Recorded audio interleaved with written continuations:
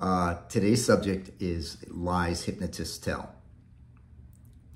And uh, I think I think we all tell a few of these. So uh, we're going to be talking about lies that that hypnotists tell to their clients and lies that hypnotists tell to other hypnotists. That that would never happen, would it?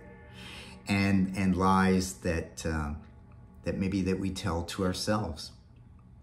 So let's get started. Let's let's start off with a with an easy one. And and this is the lie where we say to a client, um, everybody can be hypnotized. Everybody. Now, this is not strictly true. Uh, studies have shown that a certain a certain element of the population and the figure I hear most is 10%. 10% of people just can't be hypnotized for whatever reason. Uh, it could be trust issues, could be inability to concentrate, could be they just have no desire to get hypnotized. And, uh, and so it's not true when we say everybody can be hypnotized. But so why, why do we say that? Well, the reason is that we want to um, we want the client or the subject to have confidence in his or her ability to go into trance. Because if they are not confident in the in the process if they don't believe that the process works then there's a much smaller chance that they are going to go into trance. Now i did a study years ago of my clients that came in to me see me for hypnotherapy. And only about 5% of my clients had ever been hypnotized before. Uh, your, your numbers may be similar.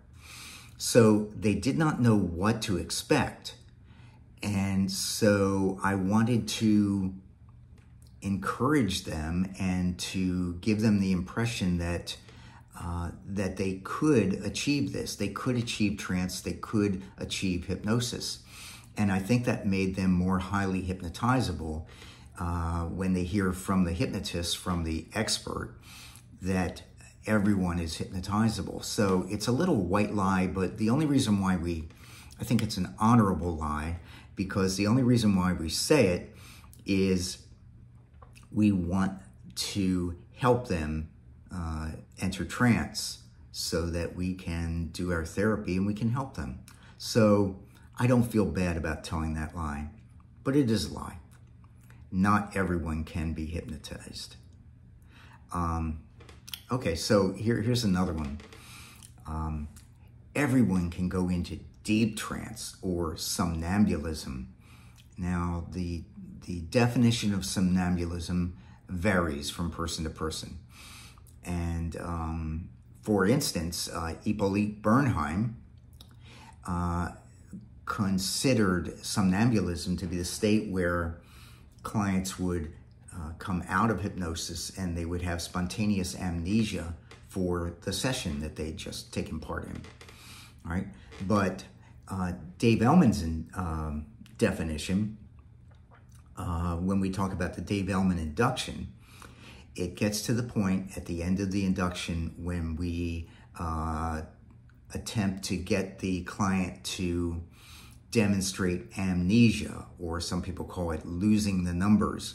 And when they lose the numbers, they have demonstrated amnesia, which for Elman's purposes was uh, somnambulism. So it's a different, different definition. But in truth, only a small percentage of the population can achieve deep, deep trance or somnambulism according to um, Bernheim's definition. Now, some people will look at this and they'll say, well, 20%, if only 20% can achieve this, then what, you know, that's not good. I mean, how can hypnotherapy be everybody's therapy if only one person out of five can get into deep trance? And the answer to this is that you don't need deep trance in order to make good therapeutic change. Uh, the majority of my clients have been for weight loss, mostly because I used to market at ladies' gyms. But I found that many of my clients uh, who could achieve very deep trance were not my best successes as far as weight loss went. However, I had many clients who achieved what I determined, what I estimated to be a very light level of hypnosis, but they were doing wonderfully and losing lots of weight. So, in my experience working with thousands of clients, and you might have seen uh, my dog in the background, uh, working with thousands of clients is that um, the depth of trance really, do, there's no correlation between depth of trance and the ability to make a change.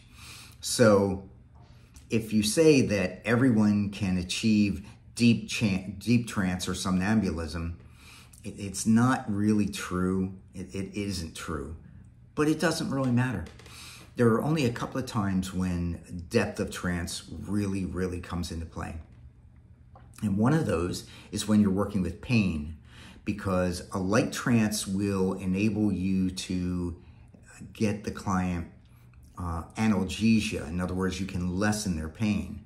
But if you get a deep trance, you can actually achieve, or your client can actually achieve, um, uh, anesthesia which is they feel absolutely nothing, which is beautiful when you're working with pain. So pain is one uh, area where you want deep trance.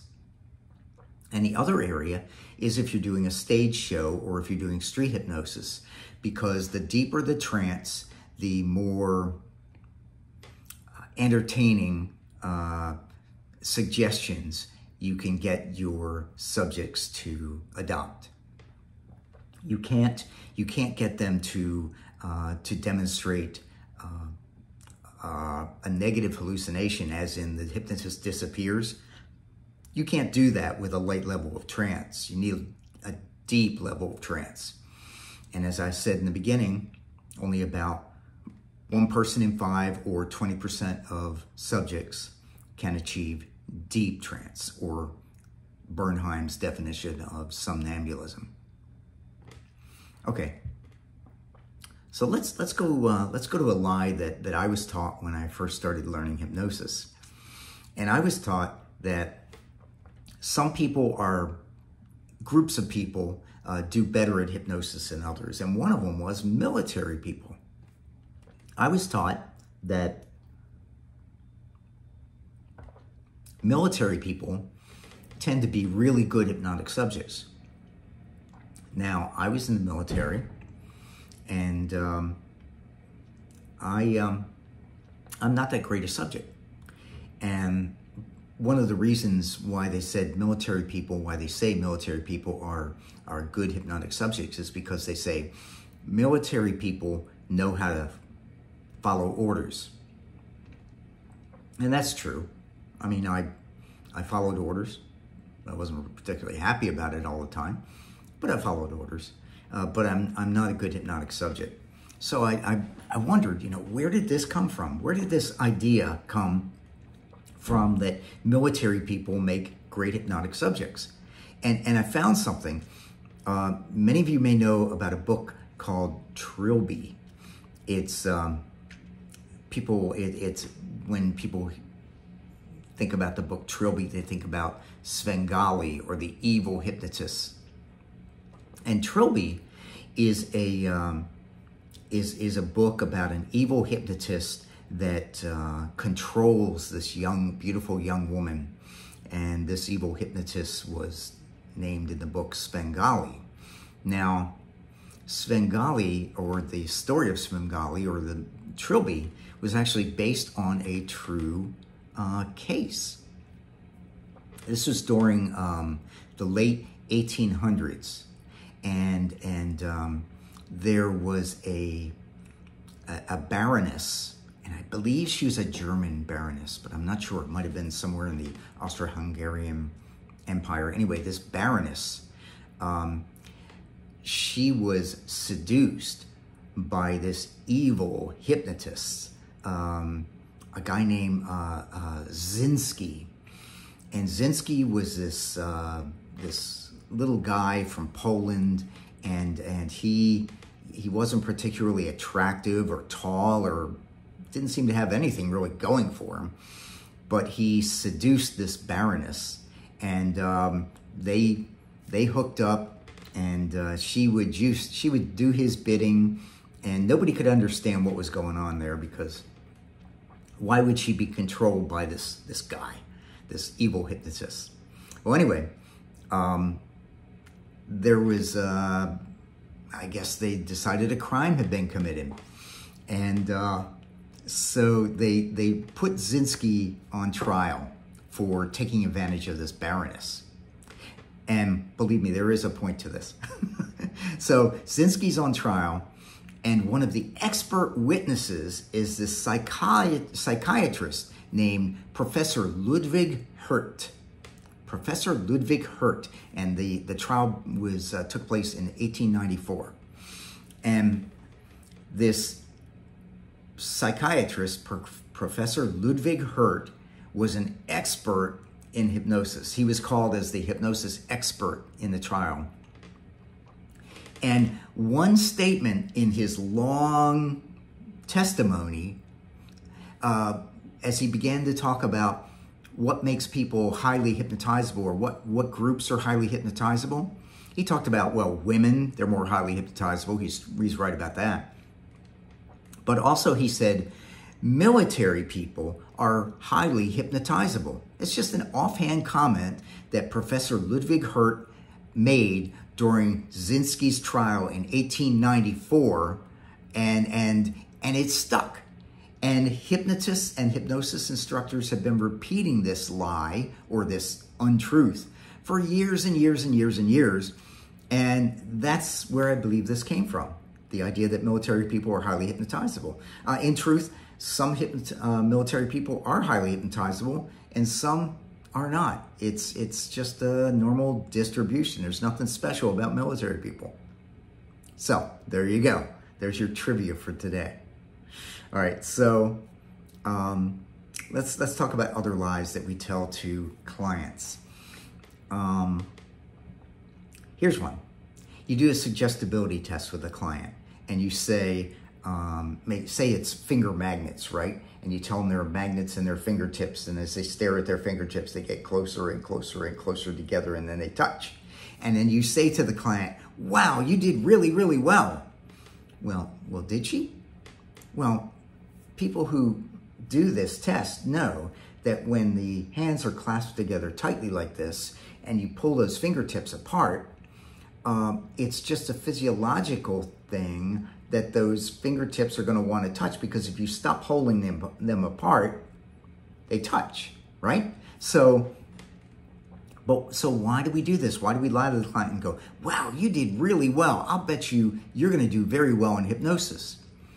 Well, once again, it's to encourage them and set their expectation that they are going to do well in hypnosis. Because if they're not afraid and they believe they're going to do well in hypnosis, there's a far better chance that they will go into trance. So we're only saying this lie just for their benefit so that they are confident that they can do this. So that's a, that's a lie that we tell. You did great. Oh, here's a good one. Here's a really good one. Um, it is uh, intelligence. Have you ever said to a client or a subject, the more intelligent you are, the better you will at going into hypnosis. As a matter of fact, the more intelligent people are far more hypnotizable than others that are not as intelligent. Is that true? You may, you may believe that yourself. It's not true. the science does not uh, does not confirm this. Uh, as a matter of fact, there were two studies that I know of. One done by Hilgard in 1965, and the other done by Kroger in 77. And they gave intelligence tests to their subjects, and then they tested for hypnotizability and the intelligent ones, the intelligence had nothing to do with people's ability to go into hypnosis, had nothing to do with their ability to go into deep hypnosis. Uh, so whether you're extremely smart or whether you're really dumb, I mean, as long as you can concentrate, uh, you may be hypnotizable.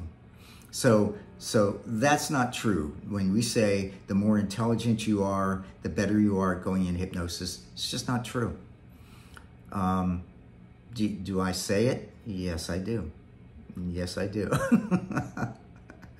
it, it, there, it's, it's sort of implied when you tell them that uh, if you cooperate with me and you follow my instructions, um, you will go into hypnosis. We know that. Uh, you're a better chance if you cooperate. And uh, so many people will cooperate because they don't want to be seen as not being intelligent. So, yeah. Some people will say, yeah, anyone can be hypnotized. Anyone of normal intelligence. Yeah.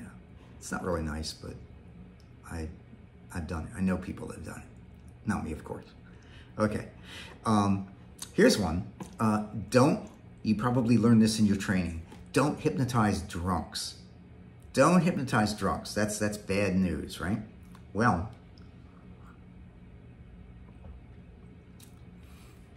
I would say that that's not exactly true.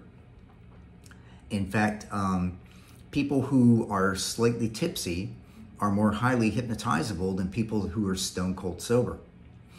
So, um, so instructors will tell uh, people in hypnosis classes that it's a bad idea to hypnotize drunks, and actually, it's not. Um, now, if somebody is very, very drunk, um, it's it's uh, you know they'll go into hypnosis, but they're not going to have the concentration that you're probably going to want from them. But uh, could somebody who's tipsy, uh, can you hypnotize them? Certainly you can. And uh, as a matter of fact, they will be more highly hypnotizable than someone who's sober. And there's some science behind this. The University of Leeds did an experiment in 2013 and they gave students several pints of lager and then tested their hypnotizability, their level of hypnosis compared to students who were just um, drinking water sober. And they found that the ones who had consumed the lager were far more hypnotizable than the people who were sober. So, and I, I duplicated, duplicated this experiment myself in Heidelberg back in, I think, 2016 and that was my finding too. That uh, you know how they say a lot of a lot of scientific experiments can't be duplicated. Well, this one I duplicated it, and yes, my people who were drinking were far more hypnotizable than my people who were not drinking. So there you go. So that's that's not true. Okay, uh, here, here's here's one that we say often when we're trying to explain hypnosis to people. We'll say, you know, it's have you ever been driving your car and uh, and you get home and you realize that I wasn't paying attention. I don't remember anything about the drive. And we'll say, see, it's hypnosis is like that. It's it's well, it, it's not really like that. See, in my mind, hypnosis is a uh, is a uh, a state of mind where you become more highly suggestible. And highly highway hypnosis, in my mind, is nothing like that. Um, I, how many times have you been driving the car and maybe your spouse says, your turn is coming up, your turn is coming up, hey, your turn is coming up. Well, if, if you were in hypnosis, that should sink in and you should make that turn. But you don't. You go straight through and you miss your turn, you miss your exit. So, no, I, I, I think there's, there's absolutely nothing, uh, highway hypnosis has, has absolutely nothing to do with hypnosis. It's, um, but telling people it's similar sort of demystifies and, and makes hypnosis seem far less intim intimidating. So that's why we say this. Um, oh, and sometimes uh, I've heard hypnotists say, well, you go in and out of hypnosis several times every day, or sometimes they'll say hundreds of times every day. Well, is that true? I, I don't think so. I don't, I don't think I go into hypnosis many, many times during a day. There's some times I let my mind wander, but that's not hypnosis. It's it's might be kind of a similar feeling, but it's not hypnosis. But once again, we say this to kind of demystifies and and uh, demystifies hypnosis and make it seem very uh, benign. Okay. Now let me let me do a couple more of these these fibs, and then um, and then uh, that'll be it for today's lesson. Okay. Age regression is the best way to deal with every uh, issue. Age regression, the, the idea behind age regression is that if you have a problem, it's probably due to something that happened in your past, maybe when you were a child. Um, often this is true. It is. I mean, you may have a phobia or, or another problem because of something that happened in your childhood. It's quite possible, but it's not always the case. Not everything, every issue that you have uh, has a root cause that can be found and neutralized in an age regression. Um, take smoking, for instance. Um, people do not necessarily smoke because of some hidden childhood trauma. It's, it's just, it's probably not there. It's just a habit or they, um, when they were a, a young teen or a, a young adolescent, they, um, uh, they caved into peer pressure and started to smoke. At any rate, uh, many things don't require an age regression to get added. Um, here, here's another one about age regression is that um, memories obtained in an age regression are usually uh, accurate, and they're really not. I mean, all the research in, into memory suggests that um, every time you remember something, you remake it in your mind. And, and so an age regression or a, um, an, uh, a situation that's recalled in an age regression is not necessarily going to be accurate. As a matter of fact, it might be completely untrue. Speaking of lies, it might be what we call a confabulation, where your mind can come up with something. Um, used to say, let's see, what was the quote? In hypnosis, there is a um, an emotionalized desire to please the operator. And so when you hypnotize somebody and do an age regression on them, it's quite possible that just to please you, they will come up with some issue, whether it happened or not, in order to please the hypnotist. So, so hypnotically uh, obtained um, uh, memories are not necessarily true. And that's why um, most courts don't accept hypnotically um, uh, induced uh, testimony. You know, because memories are, your memory is, is very fragile and, and especially in hypnosis. So, um, so yeah, so hypnotically obtained uh, memories, not necessarily true. Could be true, maybe not. Um, okay, let's let's do another one. Um, oh, let's let's do one that uh, that hypnotists tell themselves, and it's the one where you say to yourself, you know, if I just get this one more class, I will be ready to start my practice. And the truth of the matter is you can chase classes forever and never, ever open your practice, which is kind of a shame because it's a waste of all the training that you've had so far. So I'd say if you've had good training, get out there and start seeing clients and you're going to learn more from your clients than you will learn in any class. That's true. Um, get out there and start helping people. Don't become a seminar junkie get out there, take a good hypnosis course, and then go out there and help people. And you're going to learn a lot more just in interacting with your clients. Um, okay, here, here a couple more lies, and then and then we'll close it for today. Um, you know, my um, my treatment for weight loss, smoking, phobias, whatever is 100% successful. Do you believe that? You shouldn't. Nothing is 100% successful. Uh, if a hypnotist tells you that that their program is 100% successful, they might be telling a little, a little white lie, okay? Because, you know, hypnosis is wonderful. It is so effective and, and you can do so much good, but you can't help everyone. No one can help everyone. Your doctor can't help everyone. Um, and I have a lot of respect for physicians, but nothing in the world is 100% effective, uh, 100% successful. So, so don't say that. Don't tell your client. You can tell them this is very successful.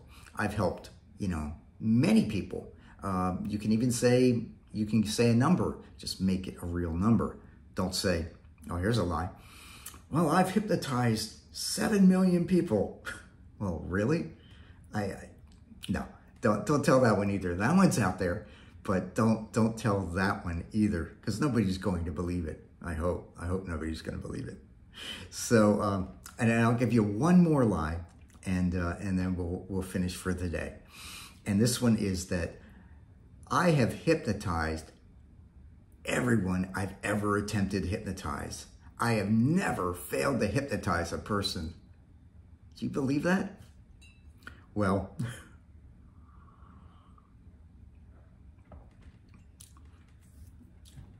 at one time I said that and then I hypnotized my ninth person and it didn't work.